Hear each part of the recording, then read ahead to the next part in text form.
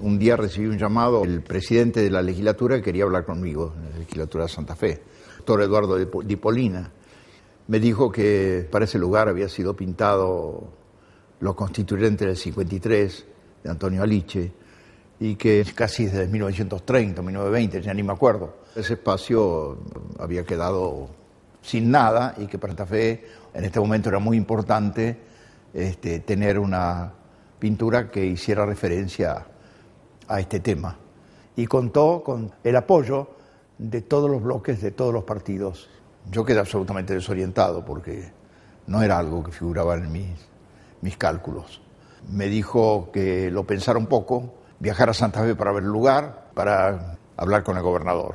Así que ya en el viaje de vuelta de avión, yo ya estaba con un pedacito de papel haciendo algún croquis.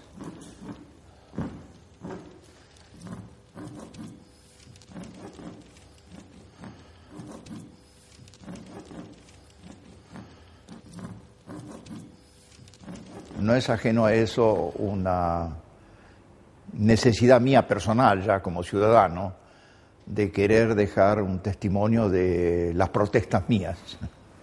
Lo primero que vino a mí es eh, sentirme parte de la ciudadanía y lo que yo desearía para mi país. Instituciones firmes, legalidad, constitución, trabajo para todos, eh, sin excepción y creo que eso es el verdadero motor al final del trabajo, aparte del encargo. Imaginé eh, un conjunto de personajes que miran a los legisladores que son sus representantes y se establece un diálogo con ellos. Es decir, que los ciudadanos, los que están en la calle, nosotros, ciudadanos, quiero decir yo, porque cada ciudadano soy yo. Miro a quien, representa, a quien me representa y le pido que haga el máximo por mí y por mi familia, que finalmente es eso lo que creo que quiere el pueblo.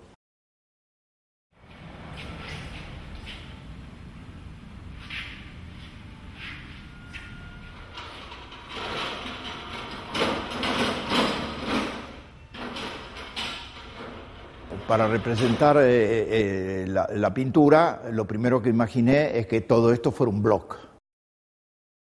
Una ubicación espacial que es el río atrás, hace una referencia al río Paraná, el lugar, y un pequeño pasto adelante y girasoles a la izquierda y a la derecha, como los que yo he visto cuando uno se interna en la Pampa y especialmente en esa zona.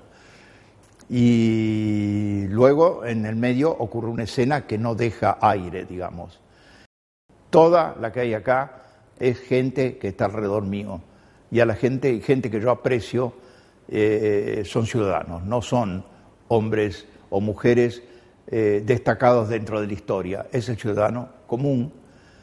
Hay dos grupos, izquierda y derecha, que están hundidos en una tonalidad determinada que son los tierras, los ocres. En realidad eso es, simbólico, es que todos están hundidos dentro de una tonalidad y dentro de una tonalidad que los une.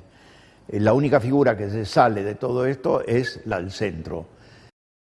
El piso está unido al zócalo, o sea que yo retomé este verde en líneas horizontales. ¿Por qué? Porque la horizontalidad es lo que me va marcando la pared central del edificio luego viene la franja de las banderas y luego viene la franja de arriba. Son todas horizontales, todas horizontales.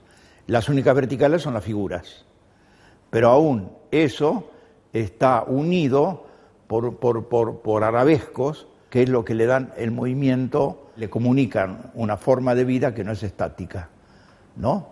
Es decir, que de alguna forma avanzan sin agredir. Y yo empleé en la construcción de esta pintura regularlo todo en medidas, si es posible, armónicas. Hay una relación de módulos entre todos los espacios para que no haya espacios demasiado grandes ni demasiado chicos y que haya un ritmo. Este, o sea que hay una construcción abstracta detrás de lo que vemos acá figurativo. Luego, la pintora Marina Kurchik dirigió la selección de color a partir de este boceto, que es aislar el color del boceto y ponerlo en tarros por zonas. O sea que yo empiezo pintando por la derecha, por espacios de color y termino por la izquierda. O sea que no hay un improvisar sobre la tela, sino que hay un desarrollo previsto, inclusive hay un calendario. Hice maquetas espaciales que están hechas en escultura, porque lo que tenía que ver es eh, la espacialidad del grupo. La pintura debe sugerir esa espacialidad, aunque de hecho no está, porque toda la pintura está enlazada por el mismo tipo de pincelada, que son en realidad las olas del río, como un signo que ondula en el río, que ondula en la en las polleras, que ondulan en el pasto, en las banderas, y entonces todo ese ondular es lo que le da una sensación de movimiento.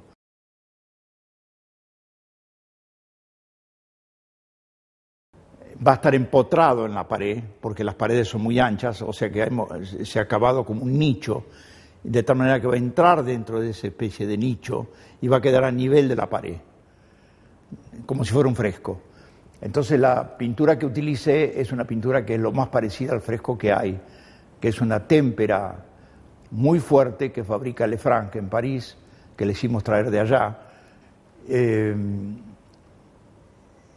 la tela era muy importante también, porque esa témpera eh, tiene sus mayores virtudes, no, sobre telas que tengan un grano fino, que no había acá en Argentina ni en América del Sur, sino de en telas que, tienen mucho grano, que tienen mucho relieve. Eh, esas telas se fabrican en Bélgica. Eran, son máquinas antiguas que fabrican, fueron capaces de fabricar esta tela que tiene 7 metros por 3,50 en un solo tramo sin costura. Lo que llevó más tiempo es la preparación abstracta o de medidas, porque todas las medidas de la pintura están en relación con las medidas del edificio que esté en armonía, eso llevó mucho tiempo.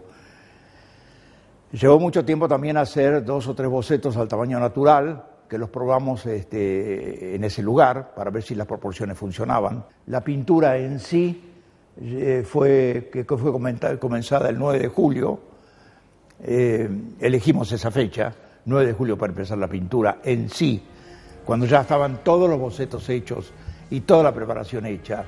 En realidad fue hecha en siete meses, eh, más o menos, y la preparación casi llevó un año y medio,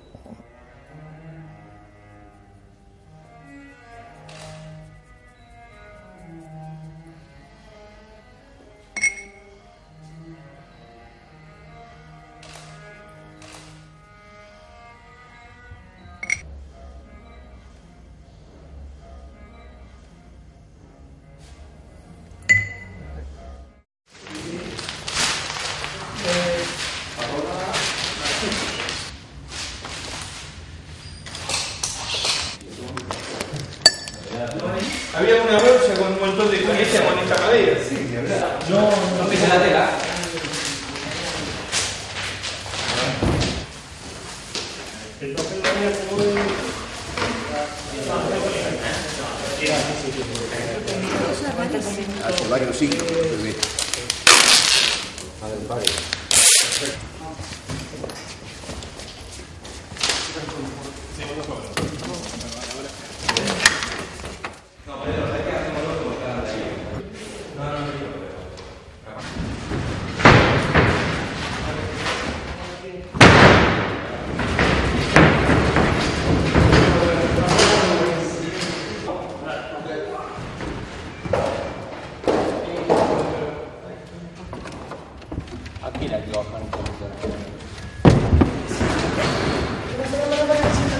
干嘛呢